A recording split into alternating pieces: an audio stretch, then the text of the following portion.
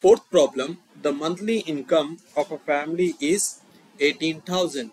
So they have given the monthly income. Okay. Uh, so next, the monthly expenditure. Income, you know that the money which is uh, earned or gained by working or like a salary. Okay. The monthly expenditure is, expenditure means you are spending the amount. Okay. Is represented by adjoining pie chart so in this pie chart, they have shown the monthly expenditure of the family. So here, let us write down one column is missing. So let us write down that is miscellaneous. So miscellaneous is 20 degrees.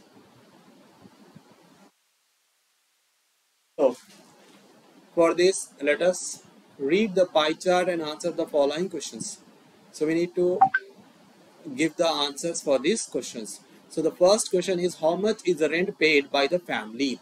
So rent paid, let us look at the rent that is 100 degrees. It is in degrees but we know we need to know the actual amount they have paid. Okay. So for that we will find out that okay first of all we will write down what is given. So what they have given so the total monthly income of a family. So for family, the total monthly income is rupees 18,000. It is given and we know that this whole circle represents 360 degrees okay. The whole angle is 360 degrees. And this includes it represents 18,000 amount also. Okay. So this is the amount. So that's why we will denote it rupees. Next. Now we will find out the rent paid by the family. So let us write down rent paid by the family. So for rent we know that it is 100 okay? And we know that total salary is total income is 18,000 so we are going to divide with 360 degrees into 100 let us cancel the 0 and 0 cancel. 18 ones are 18 2's are okay? So in the numerator it is 100 into 100 otherwise we can cancel this 100 two ones are two fifties are. So here two zeros are there. So let us write down that 100 into 50 5 in 50 into 100 is 5000 so this is the rent. Next on which item are the expenses minimum and how much. So on which item the expense is low? That is on clothing because it is 14 degrees. So let us write down that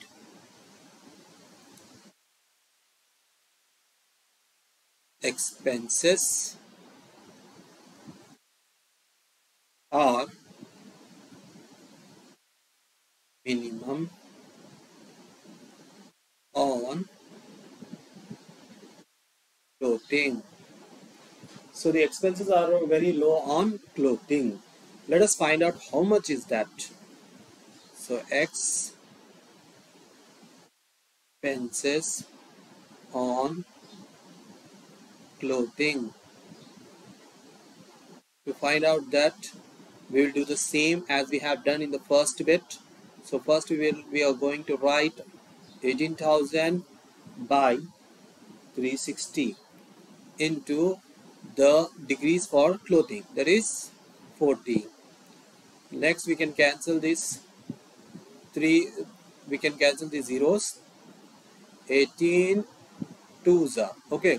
18 ones let us write down 18 twos are okay. So two ones are two sevens. So 7 into 100 is 700 So the amount rupees 700 is being spent on clothing. Next, let us do the third bit. How much does the family save for per month? So we are going to find the savings.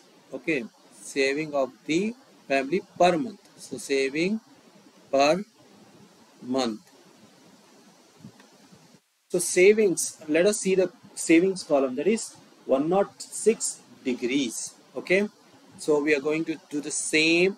First we will write down the total amount 18,000 by 360 degrees into the amount, uh, the degree available for that saving. Okay, so we can cancel this again 0 0 18 2s are 18 hundreds are 1800 okay next two ones are two fives and two threes. So we can write down 100 into 53 so 53 into 100 is 5300 so the rupees 5300 so this much is the amount spent